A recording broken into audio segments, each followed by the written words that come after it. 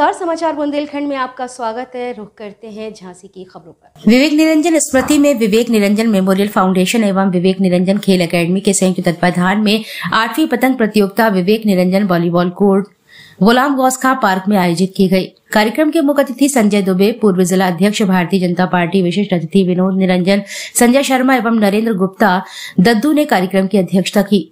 पतंग प्रतियोगिता तीन वर्गों में पेज पतंग प्रतियोगिता जूनियर और सीनियर एवं फ़ैशन आयोजित की गई।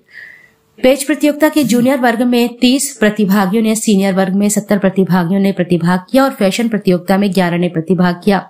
जूनियर एवं सीनियर वर्ग के पाँचवें राउंड में परिणाम निकला। फ़ैशन पतंग प्रतियोगिता में तीसरे राउंड में परिणाम निकला। फ़ैशन पतंग में जगदीश रायकवार प्रथम, ब्रजेंद्र वर्मा द्वितीय और आशीष कुमार तृतीय रहे। पेज पतंग प्रतियोगिता के सीनियर वर्ग में हैदर अली प्रथम अरबाज खान द्वितीय, जाहिद खान तृतीय रहे। वहीं जूनियर वर्ग में ईशान प्रथम, फरहान द्वितीय एवं अंशु निरंजन तृतीय रहे। प्रथम, द्वितीय एवं तृतीय को क्रमशः एक हज़ार रुपये और पाँच सौ और चार सौ रुपये ट्रॉफी एवं प्रमाण पत्र टॉप टेन को मेडल और सर्टिफिकेट प्रदान किए गए। इस अवसर पर वीरेंद्र निरंजन, सौरभ निरंजन, मोहम्मद हसन, सारांश, अमन गौरी, समर सुमित कुमार, अभय कुमार, कार्तिक, हर्ष नीलेश, खुशी ध्रुव, कुमकुम, हरेंद्र आदि लोग उपस्थित रहे।